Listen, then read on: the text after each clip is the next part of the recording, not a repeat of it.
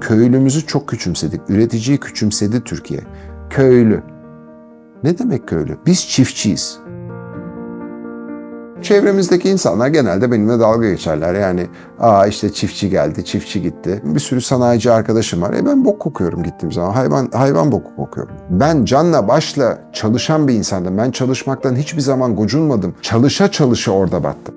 Kalite iyi bir şeydir. Büyüklük tek başına hiçbir şey ifade etmez. Bu işte rekabet yok. Üreticiler arasında rekabet yok. Üretebildiğin kadar satabiliyorsun. Bizim için mutlulukları nasıl rahat ettiririz, nasıl keyif yaşatırız? Bir tek derdimiz bu. O keyifli olduğu zaman zaten çok süt veriyor. Bir şey yapmanıza gerek yok. İyi bir yem hazırlamanız lazım. O çok önemli. Şunu yapabilmek benim 7 yılımı aldı. 7 yıl bildiğiniz eğitim aldım. Bu yemi yapabilmek için, bu kompozisyonu, bunun içeriğini öğrenebilmek için bunun içinde pamuk var, mısır var, arpa var, buğday otu var, yeşil buğday otu var. Protein kaynakları var. 15-16 çeşit. Bir, bu tasma X, Y, Z koordinatı olarak baktığınız zaman şu anda kafasının pozisyonuna göre hayvanın yemde mi olduğunu, oturuyor mu olduğunu veya ayakta mı olduğunu sürekli takip ediyor ve gün içerisinde kaç saat ayakta duruyor, kaç saat yatıyor, dakikada kaç geviş getiriyor, yatarken ne yapıyor, yem yerken nasıl yiyor, yem yeme hızı ne kadar gibi kriterleri ölçüyoruz. Buradan identifikasyon yapılıyor, tanım yapılıyor. Alttaki laboratuvarda da akış esnasında sütün içindeki iletkenliği ölçüyoruz. Bu hayvanın keyfi yerinde değil ya diyoruz. Gebişi azalmış veya yatma süresi çok artmış veya ayakta durma süresi çok artmış. Çok ayakta duruyorsa hayvan karnı ağrıdığı için çoğu zaman durur. E insan da öyle değil mi? Hani böyle yürürsünüz, gaz olmuştur, karnınız rahatsız olursunuz. Aynı şey inekler için de geçerli. Dolayısıyla biz inekleri bütün bu rakamlarını sensörlerle toplayıp analiz ediyoruz. Her şey araştırmaya dayalı. Her şey.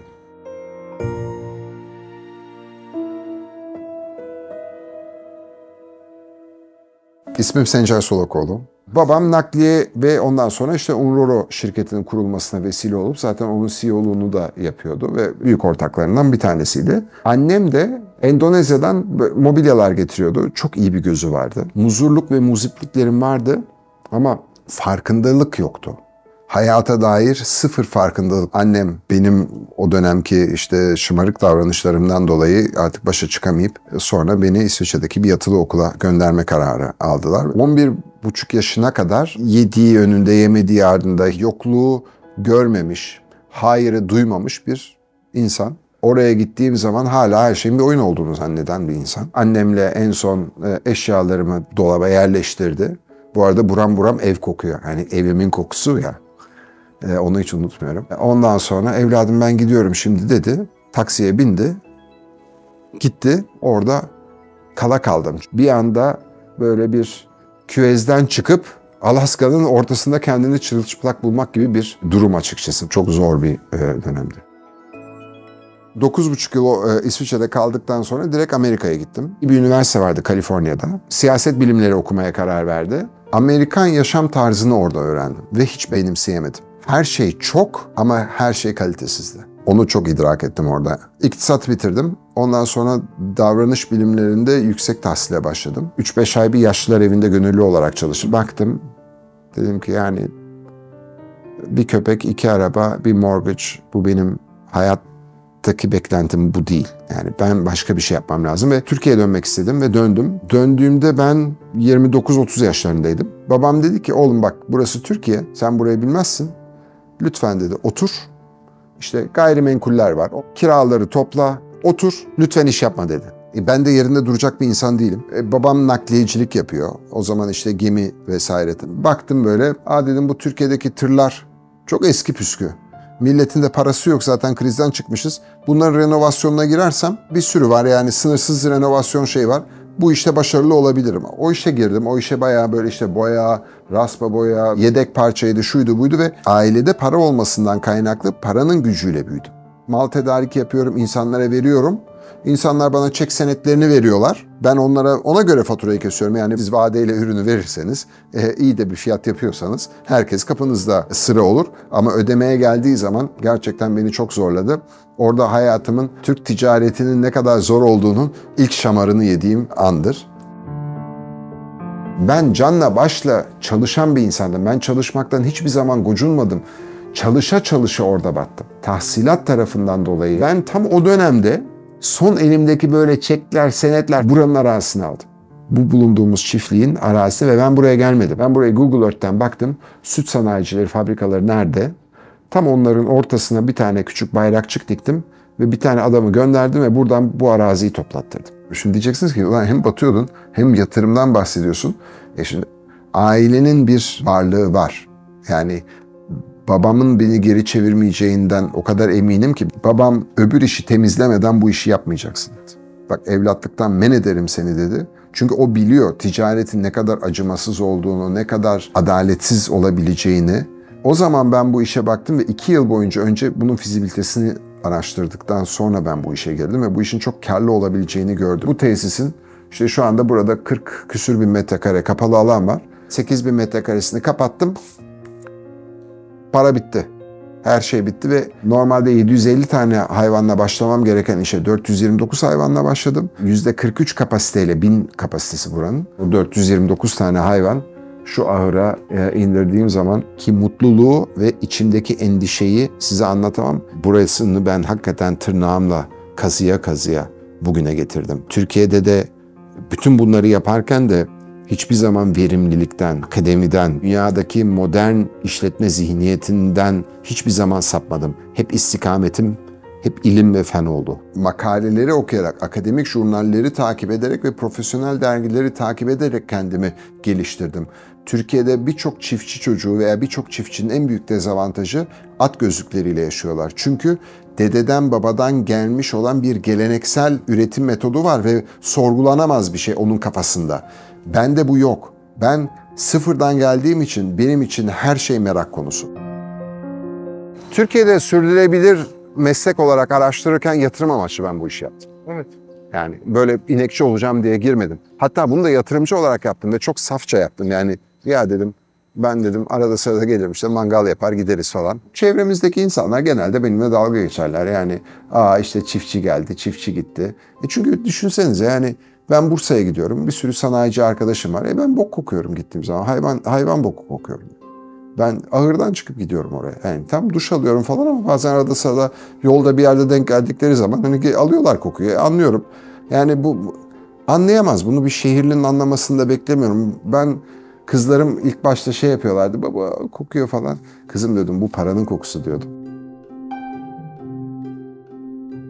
Köylümüzü çok küçümsedik. Üreticiyi küçümsedi Türkiye. Köylü. Ne demek köylü? Biz çiftçiyiz. Bir çiftçi köyde de yaşayabilir, şehirde de yaşayabilir. Ama biz çiftçiyiz, biz üreticiyiz ve bizim, ben gurur duyuyorum bir çiftçi olarak. Bir üretici olduğum için gurur duyuyorum. Çok değerli, çok zevkli, çok eğlenceli ve ulvi bir iş yaptığıma inanıyorum. İstanbul'daki hayat tarzı lüks bir sitede, lüks bir arabayla işe gitmek, işten gelmek. Ben İstanbul'da yaşanan hayatın ne kadar verimsiz, ne kadar boşa atılmış, sanki hayat bitmesi için hızlandırılmış bir geri sayıma geçmiş gibi bir hayat yaşandığını gördüm. Cıvıl cıvıl kuş sesleri var, e, hayvanlar var. Huzurun olması da dünyadaki en büyük lüks değil mi? Aslında ben dünyanın en zengin insanıyım yani. Değer yargınız da eğer o kağıt paraysa değilim. Ben haftanın işte 5-6 günü çiftliğimde yaşıyorum. İşte çocuklar geliyor gidiyor. Hafta sonu burada kalıyorlar. Annemden kalan yani hurdalıktaki hakikaten çöplükteydi. Prefabrik bir ev. Para da yok ya. Onu kullandım. Hani daha fazla para harcamamak için ofis olarak orayı kullanırız düşüncesiyle ilk kurmuştum.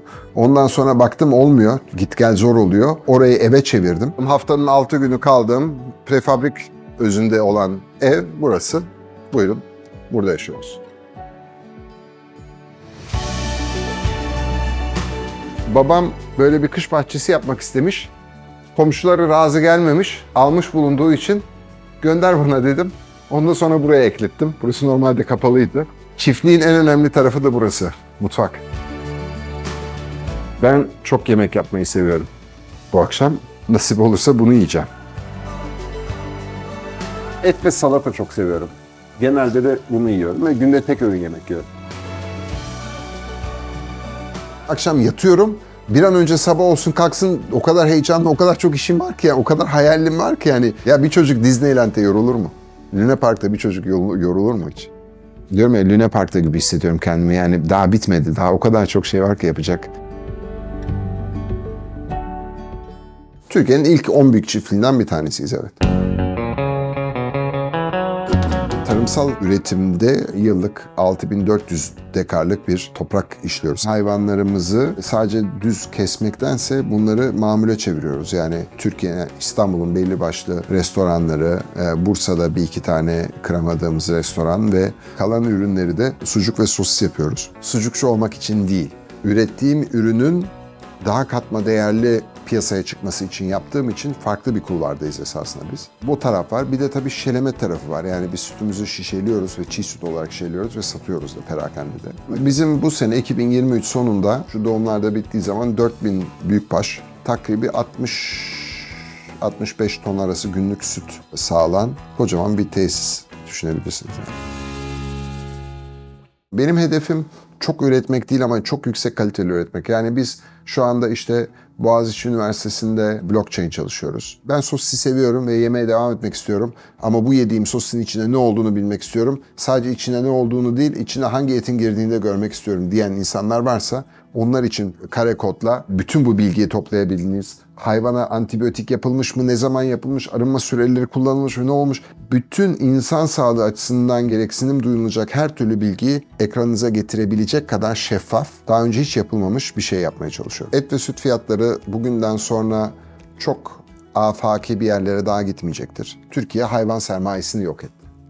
E, ne uğruna? İşte gıda enflasyonu tutmak uğruna. Dünyada tarım artık globalleşti. Globalleşmekten kasıt şu. Gübre fiyatları artık global fiyat. Dolar bazında globalde fosfor fiyatları, potasyum fiyatları, azot fiyatları belli. Azot fiyatları doğalgaz fiyatlarıyla orantılı.